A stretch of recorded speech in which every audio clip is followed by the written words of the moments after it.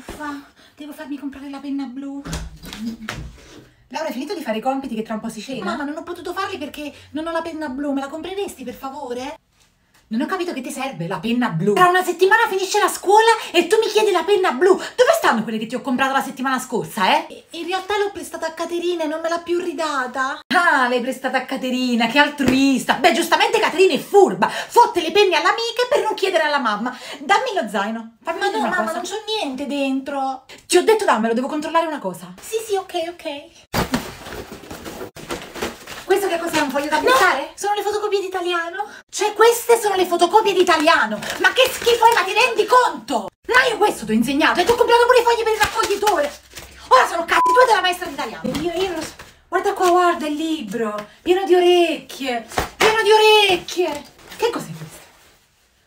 Non ci posso credere! Questo è il pezzo di pane che ti ho messo due settimane fa per farti fare merenda! Eh, ma non mi andava, mamma, poi non ho avuto nemmeno tempo di buttarlo. Questo è il rispetto che hai per i miei soldi! Guarda qua, c'è la muffa e ci sono bambini che non possono mangiare! Chiedimi un'altra merenda, ti faccio morire di fame! Ecco qua la l'astuccio. Fammi vedere che cosa ti è rimasto dei 500 euro di, di penne e matite che ti ho comprato dall'inizio dell'anno. Guarda qua, guarda. Cioè, hai preferito mangiarti gomme da cancellare e tappi delle penne al posto del pane? E questa matita? Guarda qua, guarda, guarda, ci manca proprio il pezzo davanti, si vede che è rosicato, ma che sei un castoro? Comunque a me non me ne frega un cazzo, tu fino al 9 giugno ci vai con questo a scuola, ok? Ma io come faccio i compiti senza penna blu? Ma ancora stai parlando, ancora stai parlando? E custodisci preziosamente quello che ti è rimasto nell'astuccio, perché l'anno prossimo comincerai la scuola con quello che ti è rimasto, ok?